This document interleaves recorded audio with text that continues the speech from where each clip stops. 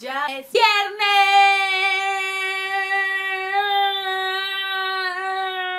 3D. Así es, ya es viernes y como habrán notado, mi pelo regresó.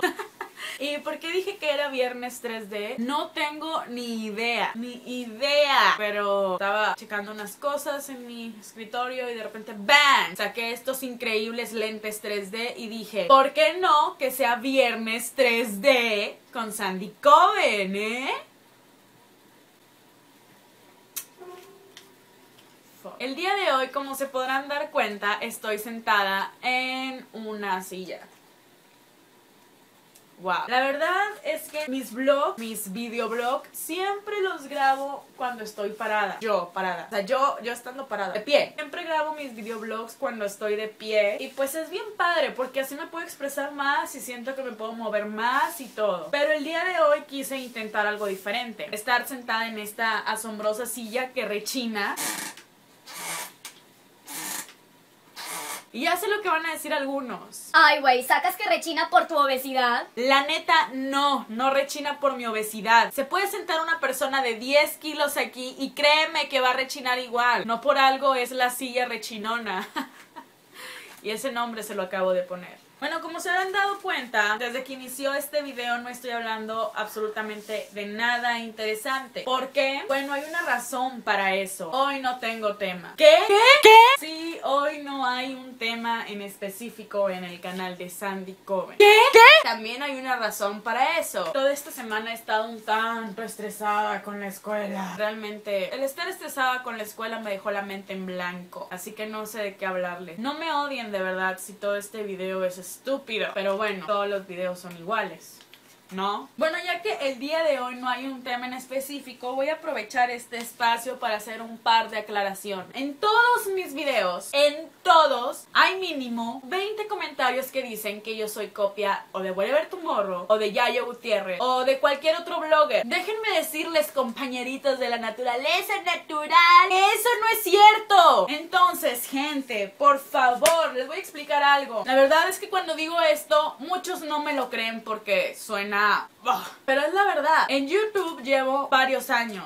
Un año no. Dos años tampoco, ni tres. O sea, llevo cinco años en YouTube. Aunque lleve 20 años aquí no significa que yo sea wow, la mejor, bla, bla, bla. No, no, para nada. Simplemente les digo que desde hace cinco años he estado haciendo videos en YouTube. Este canal dice que apareció en el 2009 o algo así. Pero yo tenía un canal antes, el cual era Sandy con doble A y triple I, y me quitaron por derechos de autor. Recomendación para los nuevos bloggers, no suban música que esté registrada, o sea, de sus artistas favoritos, toda esa música está registrada y les podrían quitar sus videos si ponen esa música. Entonces esta es la cosa, yo entro a YouTube porque estaba aburrida, estaba realmente muy aburrida en mi casa y me puse a explorar el internet. Me topé con YouTube, me topé con varios bloggers de Estados Unidos y me di cuenta que tal vez podría pegar. Así que hice un blog en inglés. Obviamente mi inglés apesta. Yeah, motherfucker, what are you telling to me? Ah? No, no pego para nada. Mientras seguía explorando el internet, encontré otros videos donde la gente simplemente cantaba. Yo creo que querían ser reconocidos por algún artista o no sé, simplemente quieren mostrarle su talento al mundo. Así que también hice un video cantando. Somewhere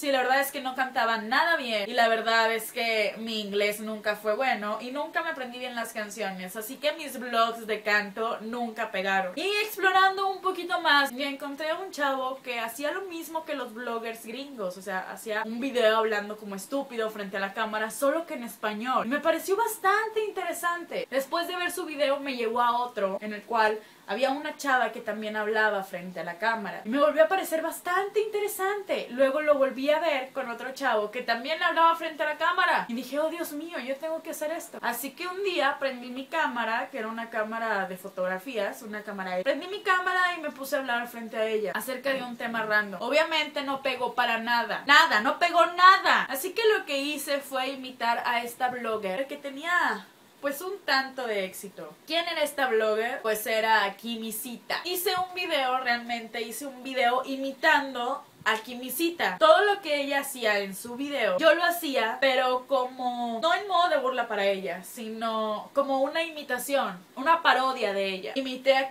cita y me funcionó. Luego imité a Lucy Loves You y también me funcionó. Obviamente sus eh, seguidores me atacaban, pero fue así como que, ah, no manches, la gente me está haciendo caso. De repente ya empecé a subir mis videos hablando acerca de la vida y empezaron a pegar. Fue algo bastante interesante. Un día recibí un mail, bueno, un inbox, mensaje en mi canal de YouTube de este blogger, Ben Shorts, el cual decía que teníamos que reunirnos todos los bloggers de Monterrey para conocernos, porque yo no era la única que hacía blogs, también habían muchos chavos que los hacían aquí en Monterrey. Y dijo que teníamos que juntarnos para conocernos todos y bla, bla, bla. Obviamente si una persona desconocida te manda un mensaje así, es algo como que bastante... ¡eh!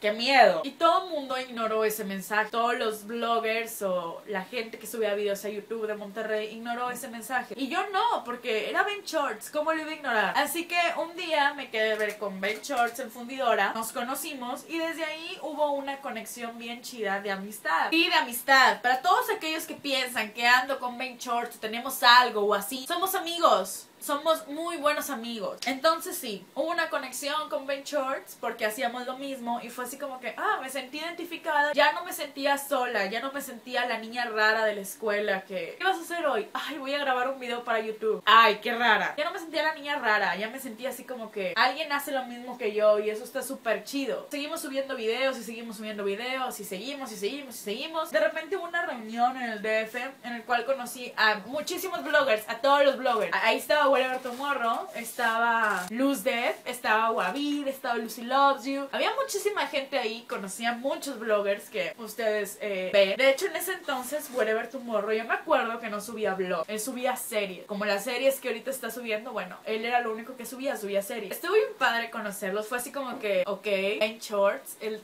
es con la única persona con la cual me siento identificada. Entonces ir a, un lugar donde está lleno de esa gente, bueno, entonces ya es como que, ok, Ben Shorts y yo éramos los raros. Ahora era como que había mucha gente que lo hacía, entonces ya no era tan raro, era algo muy común. Y en ese entonces no era nada común. Me acuerdo que en ese entonces tenía como 2000 suscriptores o como 1000 suscriptores. La verdad es que era, eran muy poquitos para lo que tenemos ahora, pero eran bastantes para nosotros. Todos empezaron así a subir demasiado y es increíble porque nosotros nunca esperamos esto. La verdad es que yo nunca pensé que esto iba a pegar. Muchos dicen, yo nunca quise ser conocido en internet, pero la verdad es que vamos a ser honestos, muy en el fondo de nuestra de nuestro corazón, de nuestro corazón, hemos pensado en la posibilidad de tal vez ser famosos en alguna cosa. Tal vez ser famoso en lo tuyo. Y la verdad es que yo estaba perdida en ese momento y yo no sabía que era lo mío. Hasta que me topé con YouTube, una cámara y me puse a hablar. Y me di cuenta que esto era lo mío, hablar con alguien. Pero nunca pensé que fuera tanta la gente que me fuera a escuchar, que me fuera a ver. Nunca pensé que gente de España, de Colombia, de Perú, de Argentina iban a ver videos. Nunca pensé que iba a conocer a gente que conocí por internet. Conocer me refiero a conocer en persona y convivir con ellos un fin de semana y quedarme a dormir en sus departamentos y llegarlos a considerar casi como una familia. Nunca pensé que esto podría suceder. Y les aseguro que los bloggers que están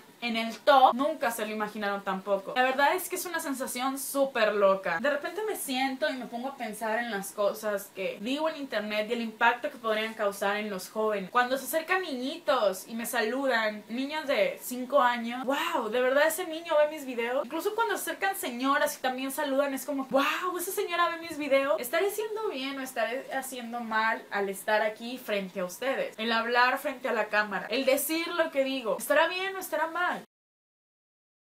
Bueno, la neta yo no sé qué estoy diciendo, estoy diciendo puras estupideces. Estoy delirando porque ya me mareé con esta silla. Me gustaría hacer este vlog parado, yo de pie. Creo que ya hablé demasiado en este video. Espero que quede el punto claro. Ya me estoy extendiendo bastante, este video va a durar demasiado. Y bueno, eh, ya no sé de qué hablar. Por favor, me gustaría que ustedes me dejaran sus comentarios aquí abajo del tema del cual les gustaría que tratara la próxima semana. Y eh, también me gustaría que me dejaran su comentario acerca de este video. ¿Qué les pareció? ¿Qué, piensan? La verdad es que me interesa bastante su opinión. Maldita sea, me estoy escuchando gangosa. Por favor, déjenme su comentario acerca de qué opinan del de YouTube y todo este rollo. Oye, Chile, si no me siguen en Twitter, por favor síganme twitter.com diagonal Sandy Coven, facebook.com diagonal Sandy Coven FB. Y pues creo que es básicamente todo. Yo los estaría viendo el próximo viernes.